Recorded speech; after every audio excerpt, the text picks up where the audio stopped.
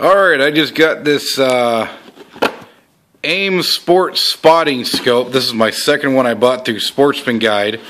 And first one I got I thought was a fluke, but I opened it up brand new and what do I hear? That right there. The internal optic on the darn thing broke, rattled back and forth, and destroyed the front optic as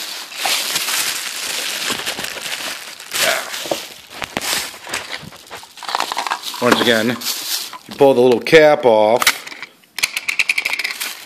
you can see all the damage inside from that scratching around.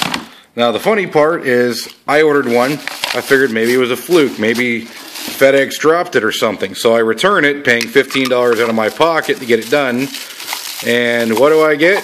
I get a return one, or a new one, in the exact same broken condition that I now get to return and spend more time and gas running around and missing time from school and work because they want to sell a inferior product.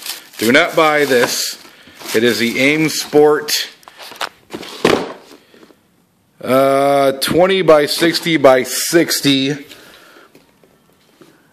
Yeah, go ahead and uh, if you ever see this in there on sale for $35 from 70, there's a reason. Don't buy it. It is complete utter junk.